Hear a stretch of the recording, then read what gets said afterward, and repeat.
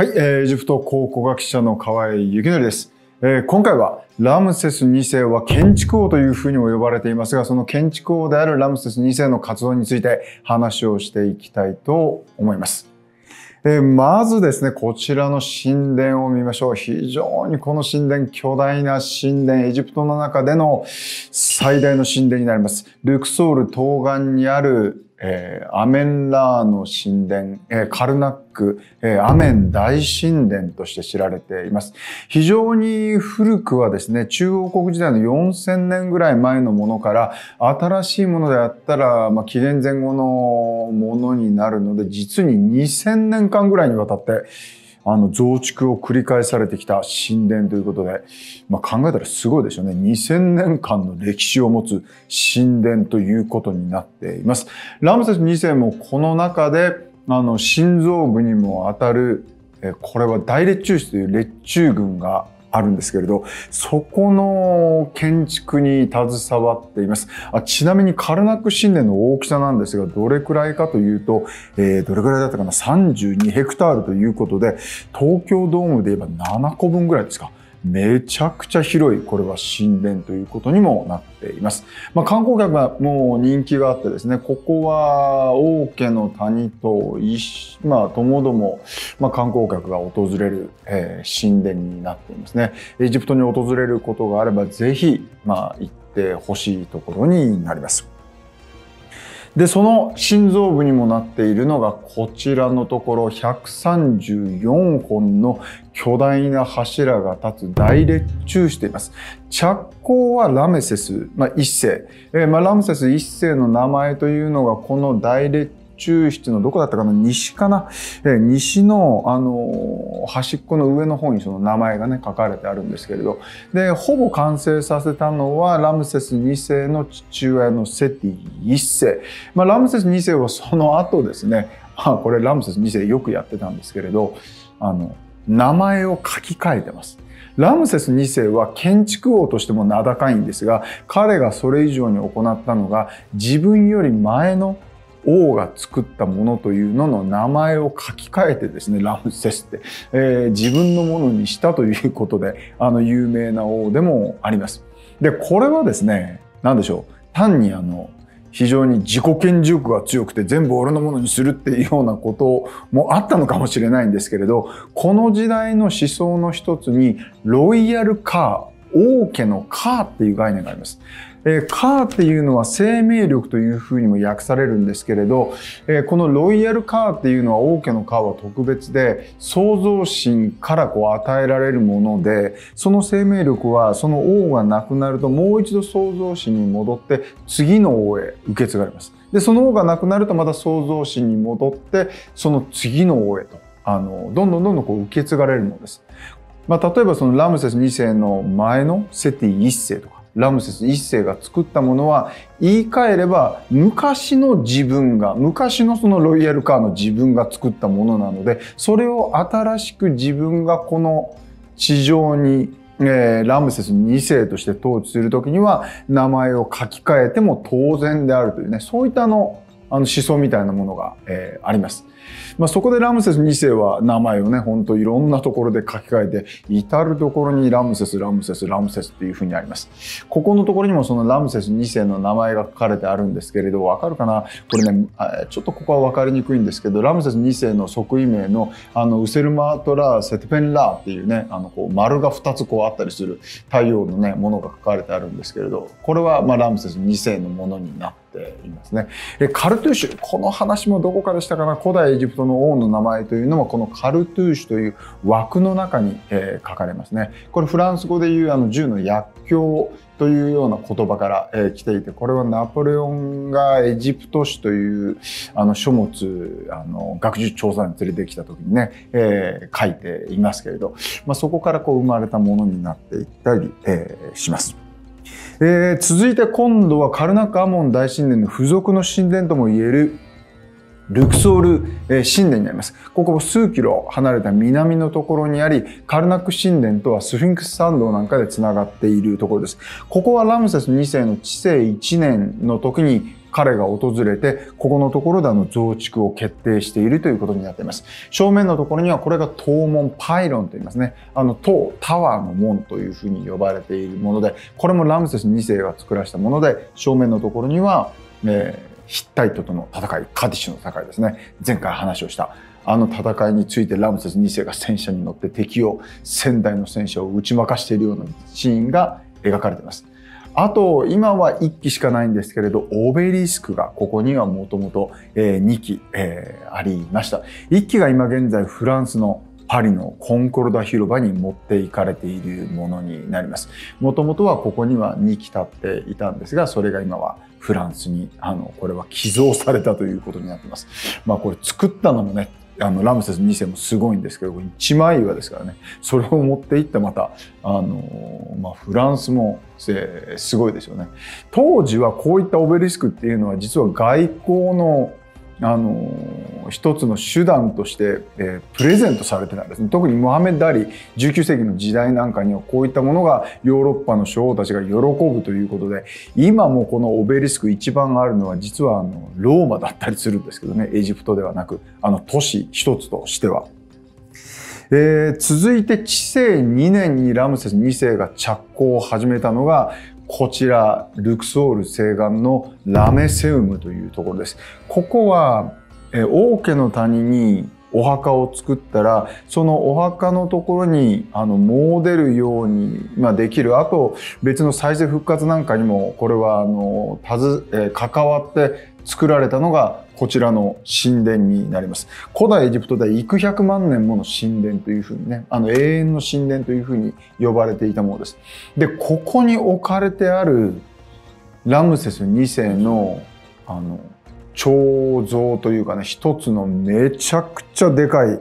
あの、巨像があるんですよ。これ、今、倒れてしまってるんですけど、わかるかな？ちょうどこの辺か。これが、肩ですね、肩。ここの。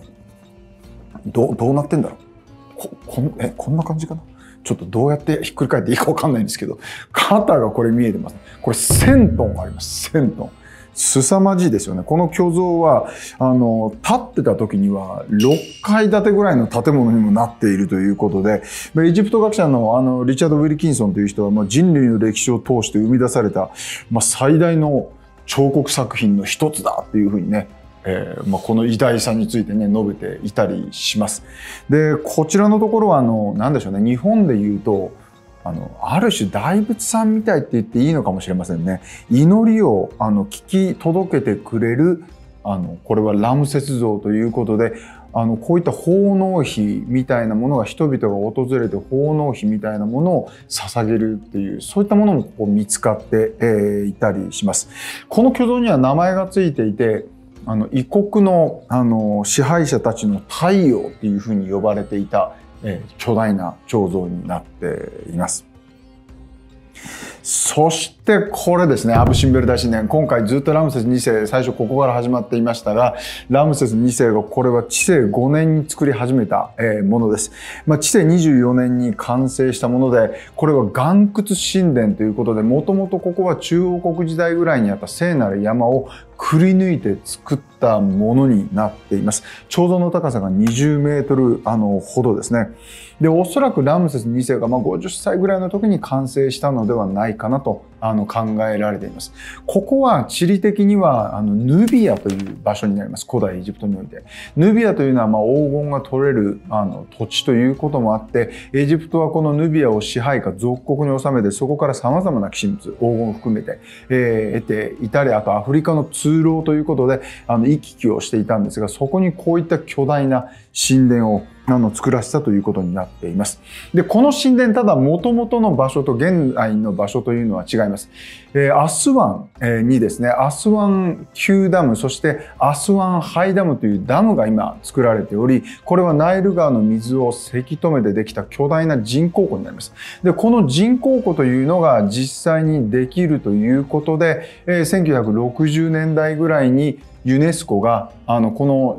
まあ、アスワンハイダムのところになせることで人工湖ができるので、えーまあ、沈むということでこの神殿というのをあの移築したということになっています。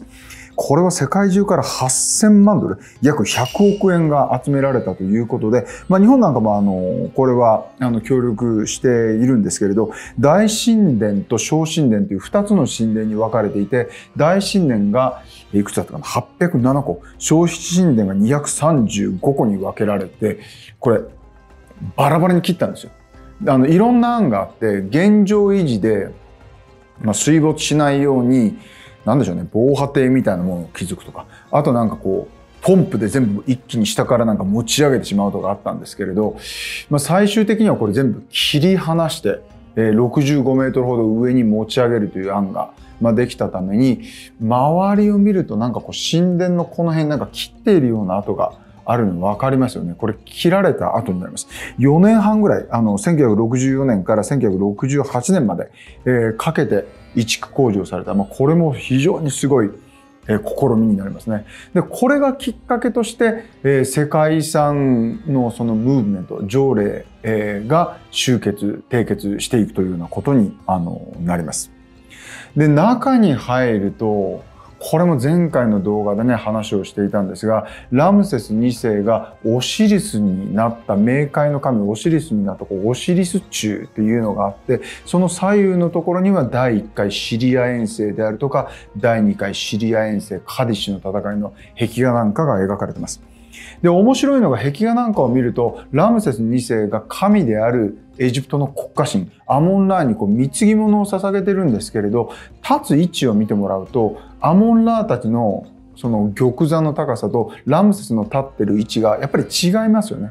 ここでは、ラムセス2世は、まあ、ある種神の息子ということで、神よりも一歩下になってるわけです。ところがこれ奥に行けば行くほど、この差がなくなり最終的にはラムセスがこの神の玉座に座るというある種神格化のために、えー、作られたのがこの神殿でもあります。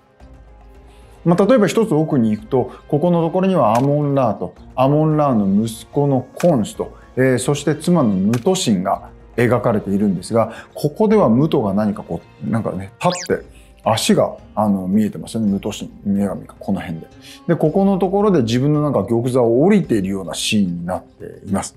えー、そして一番奥の死聖所に入るとその神の玉座にラムセス2世が座っているシーンが、えー、彫像としてあの作られているわけですね。一番こちらのところからえー、見えるのが顔が削られてしまっていますがプタハというあの将校の神様、メンフィスの神様ですね。えー、続いているのが、えー、国家神である、えー、アモンラ。そしてラムセス2世。そして最後、太陽の円盤を乗している太陽神ラ・ホルアクティということで、古代エジプトの3つの、あの主神たちがえ、ここには描かれています。重要なのが、これもやっぱりあの、アマルナの影響なんですけれど、一つの神様に対してあまりにもこう、力を込めてしまうと、その神が強くなるということで、ラムセス2世はテーベのそして国家神であるアモンラーだけではなくて、元々の国家神であったヘリオポリスというところの太陽神ラーホルアクティの力。これ実はカルナックアモン大神殿と同じぐらい巨大なあの神殿を増殖します。えー、あと、メンフィスというところ、これはあの、商工、商業の神様なんですけれど、ここの神様の力もあの強くして、えー、力というのを分散させるようになっており、そしてその間にまさに自分がいるような形でですね、えー、神様をこう結びつけているように座っているということになります。そして、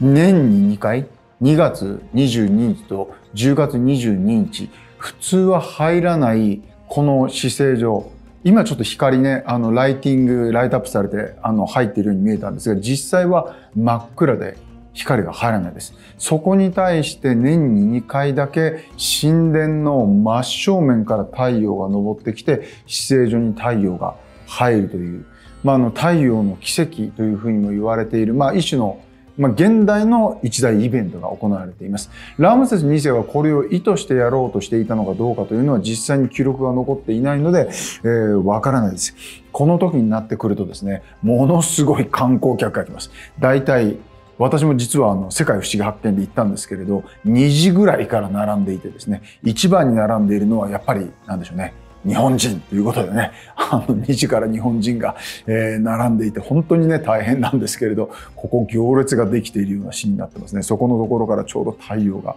昇ってくるシーンです。中こんな感じです。もうおしくらまんじゅうなんですけれど、えーね、結構ねなんか神聖な雰囲気というよりねもうなんかこう怒鳴り声とかね、女性がね、早く行けみたいなエジプト人が止まるなみたいなね、ことを言いながら、本当に大変な勢いで人がわーっとこう見るようなことになっています。個人的におすすめなのは1日か2日ずらしてもちょっとずれるんですけど太陽入ってるのでちょっとずらしてもらった方がいいと思います。もしも見たい人は。もともとは実は10月、えー、19日と2月19日ってちょっと別の日に入ってたんですけど移築してちょっとずれたのでねあのそういった意味でもあんまりその日にこだわらなくてもいいのかもしれないです。えー、でただ実際に見てみると、まあ、やっぱり感動はしますね。私もあのまあ、世界不思議発見パワーで姿勢所の中でずっとその太陽が神様たちを照らすシーンをずっとこう見ていたんですけどねこんなことをこんな風な形で光が照るあのシーンが、えー、見ることが、えー、できます。えーまあ、これがラムセス2世のアブシンベル大神殿の、えー、姿勢所。まあ、彼が作った建造物の中でも最も有名な、えー、神殿ということになっています。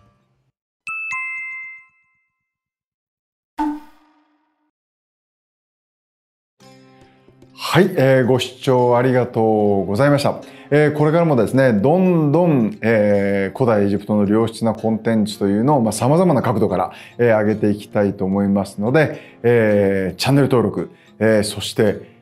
いいねボタンよろしくお願いします。